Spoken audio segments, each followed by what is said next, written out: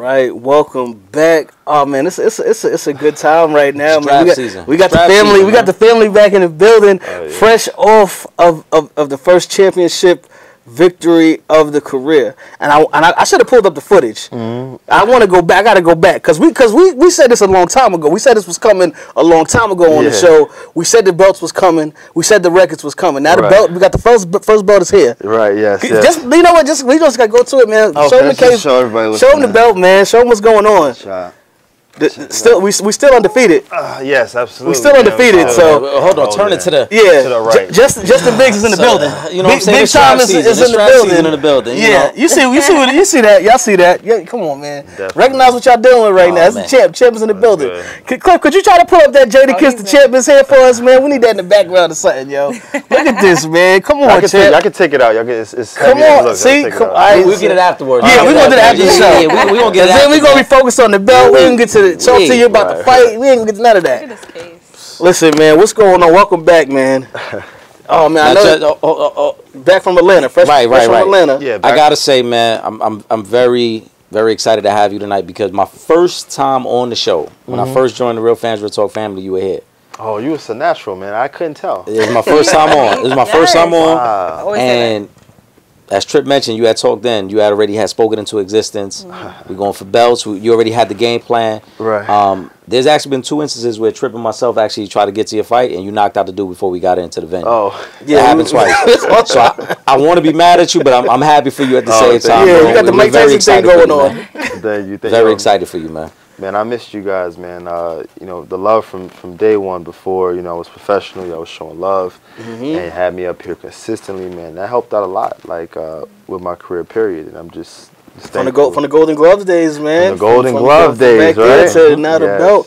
First Yes, of all, tell it this the, the Atlanta fight. When? Because when did you know that you was gonna get the championship fight? Because we ain't, you ain't give us the, the, the heads up, nothing. Man, you know what? I was in such a, a, a tunnel vision uh, mode. I got the call from my partner. You know, I was signed to Evander Holyfield, and uh, we ended up splitting. And I ended up forming my own company, Big Top Promotions, with me and my partner, A Dolly. He's probably in the lobby trying to get up here. uh, but um, yeah, man, and you know, he put stuff together for me. Like we believed in each other. I was like, listen, man, I'm going independent. He was like, yo, let's do this, and you know, he got me to fight. He called me. He said, "Yo, do you want to go fight?" uh, you know, for a belt. And I was like, "Yeah." You know, it was my it was my seventh fight. I've been off for about eight months while I was pretty silent with a tear in my shoulder. But you know, I fought a guy. Uh, it was just he had 36 professional fights. You know, he'd been a pro for a, very long time, and we went out there and we beat him. Washed him up. It's- it's- took Brooklyn, Brooklyn went down to the A, and you see when, when we come back, when we come back with all oh the yeah, riches. yeah, yeah. You know, the Nets gonna do good. We all doing good. I'm sorry, yeah, man. Brooklyn, we on the, we on the road right now, man. Got KD out here, Steph, uh, uh, Kyrie crazy. out there. I Now need we got- help, man, You got you big know? time Biggs out here with the with the belt, bringing it back. Yo, man, you holding it down for the city, man. Thank you, man. Now, how was it uh, when you won that fight with someone that was essentially a veteran compared to you being so new? What were the emotions that you were feeling during that time? Um, you know what, man? It was my first time, you know, going the distance. Everybody else I, I knocked out, you know, and pretty pretty much like uh, I want to say easy, like they were really good, tough. People, It was early. It was, It, it was, you know, I was just But they wasn't ready for your hands. Just, let's just call it what it I. I was just superior that night. God allowed me to be superior that night. You know, this, this night, you know, you have a lot going in your head. People say, "Oh, it's too soon to do this and do that." So when I got in there with with the guy, he was a veteran. It's just a different world. It's a different level. You know what I'm mm-hmm. saying? And but you know, cream rises to the top. I was able to do certain things, control distance, and give him a cut over his eye and hurt him and control the fight. And I just want to thank my Lord and Savior Jesus Christ for allowing me to get out safe and him as well. That's a Talk fact. about the. Uh, you, you said something very, very important there, where you talked about going out on your own, taking control. Yeah. Right. Talk about the confidence to not only go out on your own and promote, but then have to deal with the shoulder injury, and then get to this point now. Like I'm sure there were points where there was a little bit of doubt. Like, am I going the right path? Yeah. You know what I'm saying? What kept you focused on knowing like, nah, this is it. This is the way we need to do it. You know, my father, you know, my father, he trained me uh, from young, and I was, I mean, I was knocking out grown men at like 14, 15. So, you know, and then it was, it was hard for me to find someone that I could spar with two rounds without me, me being serious. So all these years, you know, you kind of like, you slay the lion, the tiger, the bear, and then, you know, it comes to your moment, and you have to really believe in yourself. And part of me going independent was that I believed uh, in myself, in my abilities, and I had someone else that, you know, a part of A Dollar that believed in me as well. So we put, I put myself at the forefront because if I mess up, then the whole thing is like, Yeah.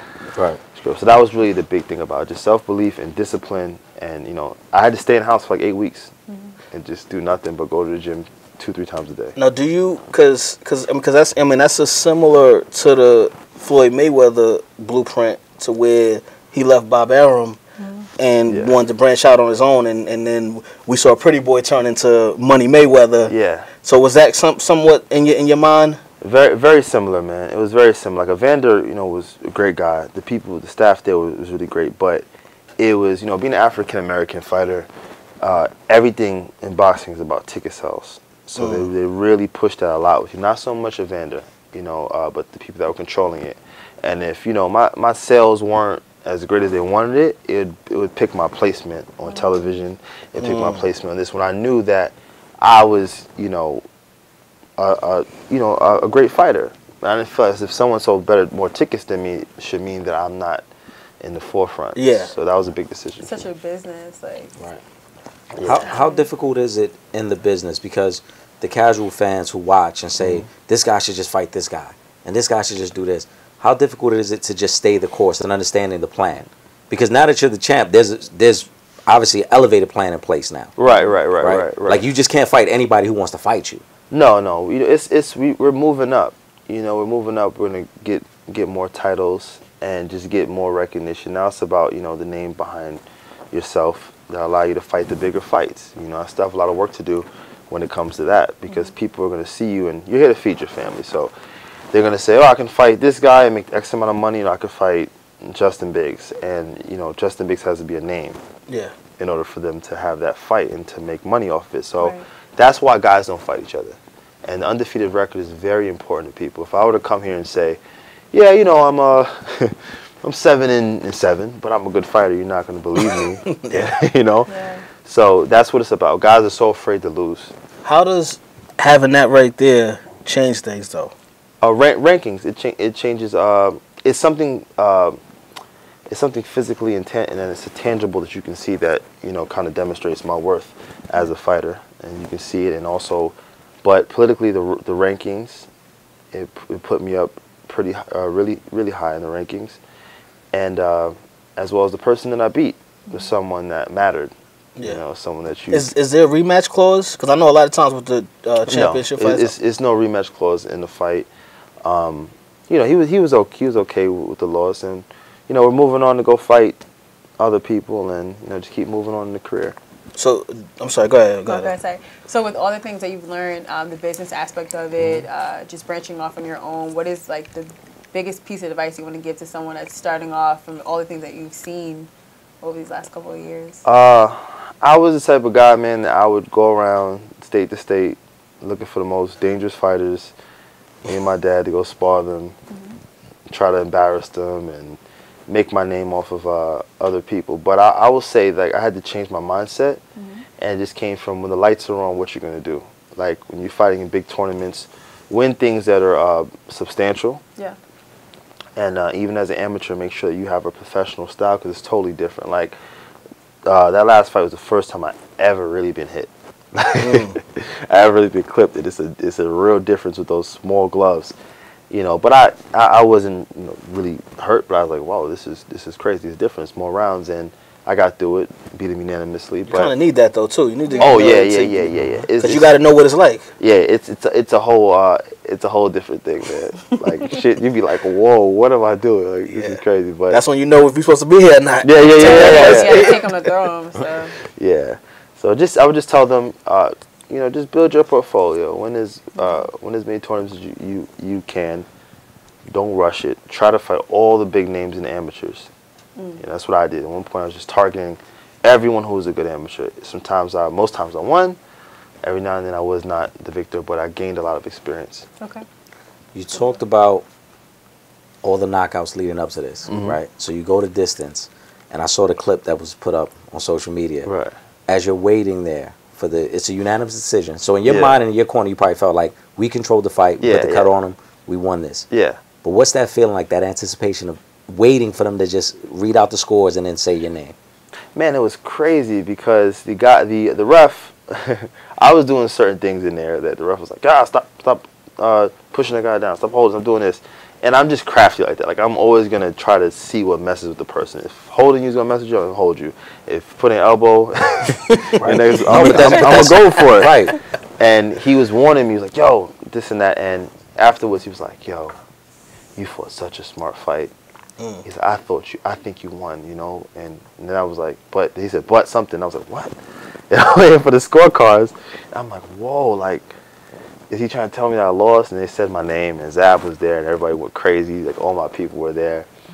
And, uh, but I was scared. And, and I got so accustomed to knocking people out because I don't like to deal with scorecards and stuff like Yeah, that. Mm-hmm. because you don't want a, a, uh, a uh, Pacquiao Timothy Bradley Yeah, yeah, situation yeah, yeah. where you get Pacquiao, or, Jeff or Pacquiao Jeff Horn situation Yeah, yeah. where you get robbed. Yeah. So and, and again, because because you are because this, is the- this is the first time you that you did go to the distance. Yeah. And, and I got I take it back to because a lot of uh, people would say about Deontay Wilder Mm-hmm. because he would knock guys out so early. Oh, he couldn't go the distance. Yeah. And when he won the belt, he had to go the distance to win the belt. So, Right, right, right. Yeah, it was um, it was a great experience. I know in my, in my head, I'm like, yo, I could do the rounds. You know, I can. I'm a complete fighter, not just a front runner. There's a lot of people are front runner. He had a, the guy. I'm so thankful for that experience because he came on so strong at the end. Mm. And you know, if I wasn't really prepared, then he'd have got me. Well, we've seen we've seen up close and personal your conditioning, so I, that doesn't even surprise me. You going to distance because we've been at, at the gym watching you go fight ten guys in a row. Yeah. Oh, who's next? Who we got? Who left? Get that guy from the parking lot. Bring him in here and throw him in there too. We ran out of guys in here. Right, right. So that's that, that man. I'm, I'm I'm happy for you though, man. Like Thank that, you, it's, it's a beautiful thing, especially from where we where we started this thing at when you first came through Yeah, yeah. to now, and, and you got so so much uh, so much further to go. How is the the, the, the training going with with uh with Yoel and, and, and I know because I know you're working with Zab and, and a lot Right. now too. Right. How's that going? Man, it's it's incredible because I have somebody that uh yeah, well, you know, he's always getting me ready and mentally. He was a five-time kickboxing world champion, legendary kickboxing world champion. People don't know, so he's been there. And uh, when my father died, he originally trained me. He wanted me to go work with him, and I was around Zab as a kid. I was actually on um, uh, Shade 45 yesterday, and I was telling people like Zab is the first person I've seen with a stack of money and every day I'm like, Zab, let me get a dollar for some Doritos or some some Gatorade. Gatorade was a dollar back then. and he give it to me, and from there I was like, wow, this is what I want to do.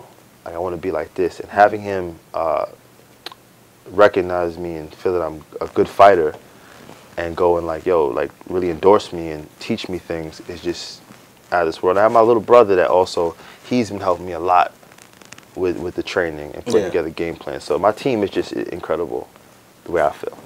Right. As Trip mentioned, we got to see you, and your work ethic is crazy. Thanks. W- You know, we went to the gym. That was about a year and a half ago. We got to see you train for the fight. Your work ethic is crazy, and the relationship you can see. I mean, Yoel thinks fondly of you. I saw Zab actually on live during your fight. Yeah, yeah. You know, he was doing his mm-hmm. own commentary. Right. And then you come from a close knit family as well. Yeah. You know what I'm saying? Because I've seen your sister in the gym fight, and you talk about your mm-hmm. dad. How important is that to you? Like they have that family background, you have that family background where it's like mm-hmm. we all want this, and let's just make sure we all do this together.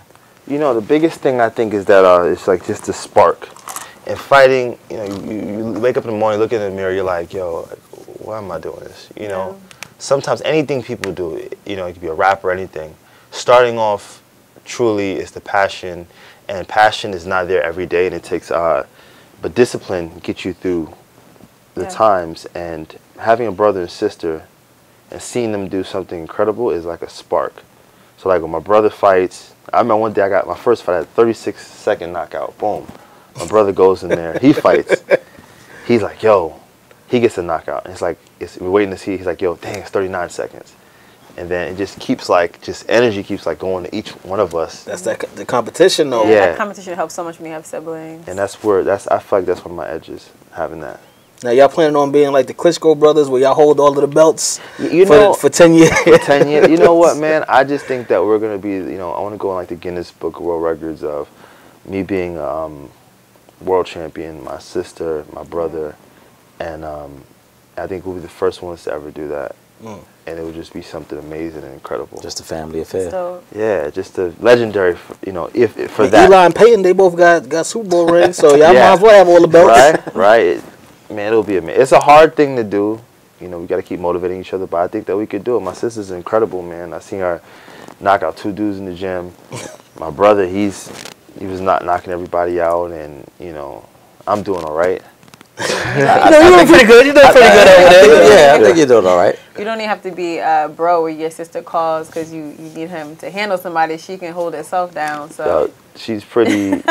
she's pretty dope. She's my sister's really good. I I think I always say to my sister, I'm like, yo, she'll be the greatest female fighter to live. You know, if she just like focused. You know, I, I really feel that way. But I've never seen anybody like her with the power, the defense, eh, the speed. It's just the you know once she gets the just the discipline and the mindset, yeah. eh, you know, it's over. Unless, So- go ahead, go ahead. Sorry. Go ahead. No, So go what's get it in. next for you? Any more business ventures, uh, sponsorship, endorsements, anything like that? Oh yeah, I mean, uh, shout out to uh, Major World Auto. They have the best cars and the best deals. So we enjoy so much. It's a real fans, real talk. We need a company car. Shout out to uh, Myers and Galliardo, my lawyers, that make sure all my deals are great. Oh, yeah, I love got those guys. You know, they're number one That's important. uh, in New York, and uh, also shout out to Def- Defend Brooklyn. Mm. You know that uh, they always keep me fly with all the, the clothes and everything that I need. You know, a lot of my my fight trunks, those are also on sale. You can go to Defend Brooklyn, get some of those. The website, uh, the T-shirts, Okay. and um, you know, oh, also Sugar Hill, Sugar Hill Restaurant. On Sunday, everybody who's here, and this Sunday I have my victory party. Me, Funkmaster Flex, everyone come out, have a great time. You know, you guys are invited. Well, you it's we gonna, gonna be be, in the it's gonna be crazy. we out, we out there. It's gonna That's be the off day. We out there. Yes. It's gonna be the same. Now, now I've got to ask you. Obviously, you're a fan of the sport. Mm-hmm. Grew up in the sport. What do you think of the welterweight division with everything that's going on now? Obviously, we saw Manny Pacquiao with an amazing victory Yes. over Keith Thurman. I saw your, your reaction on live to that as well. Oh man, that was Manny Pacquiao is you know one of the greatest fighters to ever grace this planet, and he's done something that you know him and Foreman and I think Bernard Hopkins were only to do that. And in the lower weights where the punch count is higher, it was just the most one of the most incredible things I've ever seen in my life. I I did not think that he was going to do that, and all the weights that he's traveled, he's one he, he's one of the greatest. He's he's an I mean you can argue he's better than Muhammad Ali, better than Floyd Mayweather. Pacquiao Whoa, is. whoa, whoa. No, I mean in, in the sense of in the sense of in the sense of accomplishments. Okay. Not I mean, in- a time, a division. Yes. I don't yes. think I'm not going by like who's a better uh, fighter per se, because I think that Floyd Floyd B. Pacquiao, we've seen that he's he's, Yeah. he's but just like when it comes to accomplishments, you can argue it. Everyone's gonna have their own personal uh, Yeah. preference, but what he did was just like monumental, man. You know, so, and I think the welterweight division is is great. It's full of uh, talented fighters, and um, I think that some fighters in that weight class are kind of intimidated by other fighters.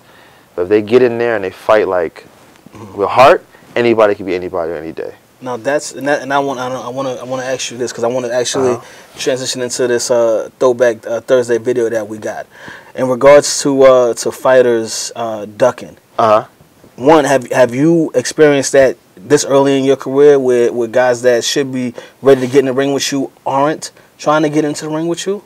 I mean, I've had I've had like like real. I mean, real. They used to say that they used to go to like 25 fighters to get to get a match, and uh, it's for different reasons. Sometimes people just you know they don't want to get hurt. It's like not worth it.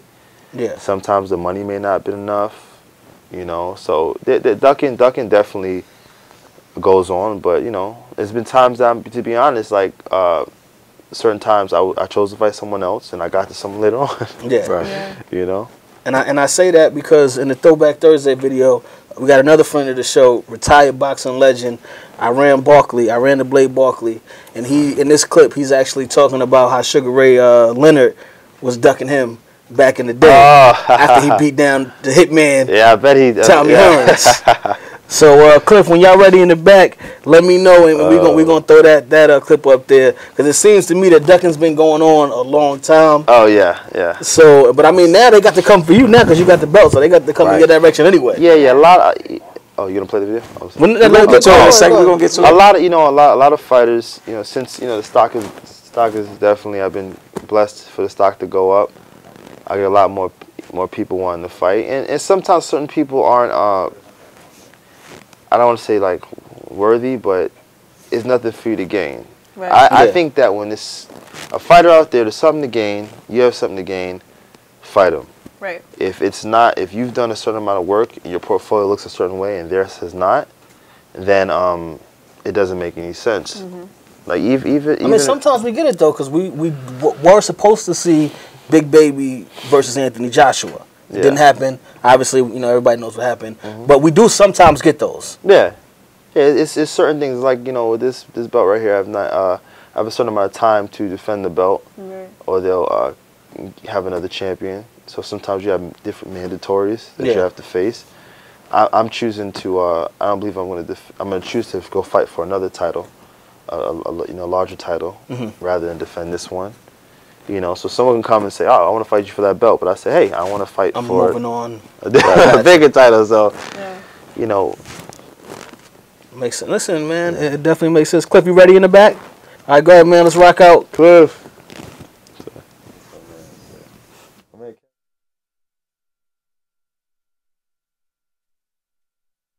I was, I was trying to just clean up past um past fights with guys just where they just took fights from me.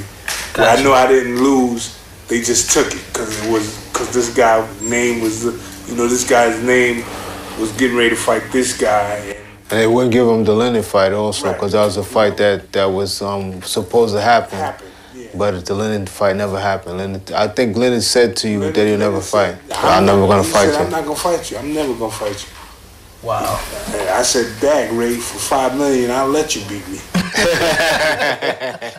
Now, you think he was scared, or, or what, what was? What do you think I his? think definitely he was scared because he seen what I did to Tommy. That cut out, that cut out everything, you know. And Ray at that time was the guy that was was calling the shots with the money and everything. You fight him, he's the money. Mm, You know what I'm saying? So the only ones that was getting that money was Tommy, Duran, and Hagler. okay. Me, I was the new kid on the block, couldn't get that money. You know, I, I got comfortable money, but it wasn't. I wanted those tens, those twenty millions. You know, So you is basically you beat Tommy Hearns too bad to the point where now Sugar Ray was not trying to give you that chance. no, it was not even only Sugar Ray. It was. It, Oh. it had something to do with the promoter too, Bob Arum. Ah, You know, he, he was he, he had all four of them guys. You know, mm. and and those was the only four guys that was making all the money. You know, at that time, and and then, you know, he promised me. You know, he said, well, first I remember the first fight. He said, he said, I said, wow, I'm getting three hundred and seventy five thousand to fight Tommy Hearns for this first fight. He said, yeah. You know, I said, well, after I knock him out, I want the money that him and Ray and them get. He said, yeah, but first you got to knock him out. I said, well, I'm going to knock him out. I said, trust me, I'm going to knock him out. And then I did it. And then when I went to the second fight, I get a, a half a million dollars or a million dollars. And I said, wow. You know, he told me, you can't get that kind of money. I said, what do you mean I can't get that kind of money? I said, you told me to knock him out. I beat him up the second time. You still ain't happy. Wow. So Bob Bob Arum, I, I find a lot of a lot of these these promoters. I feel like I'm I'm hearing stories of of how they're kind of just dictating, you know, really what's going on in the sport of uh, boxing. Um, what we see as now is the the fighters more so that are dictating what's going on. We have guys like Floyd Mayweather um, stepping up, like he just he just got a new deal with Showtime for his next couple of fights. W- what do you think it it's gonna gonna take for really for the for the boxers to start controlling the sport again. the boxers the boxers are controlling the sport. You know what I'm saying? Um, Floyd is doing the right thing. I, I commend Floyd because when when he was with Arum, he left. You know, he left Arum. Arum at a time was putting him in fights, and Floyd, you know, felt that he was trying to get him beat, and then Floyd escaped that trend of, of, of, being beat and then he started managing and, and doing it himself and stuff and learned to do it himself. And, and he's coming out much better and he's beating everybody. So, you know, I, I never had that chance to, to to, to branch off like that because I didn't make that kind of money like they did, you know. And I was promised that kind of money, but I didn't get it. This is Deontay the Bronze Bomber Wilder, heavyweight champion of the world, and you're watching Real Fans Real Talk. Face facts, what up? Real fans, realtalk.com. All right, welcome back. Once again, shout out to the champ, Iran Barkley.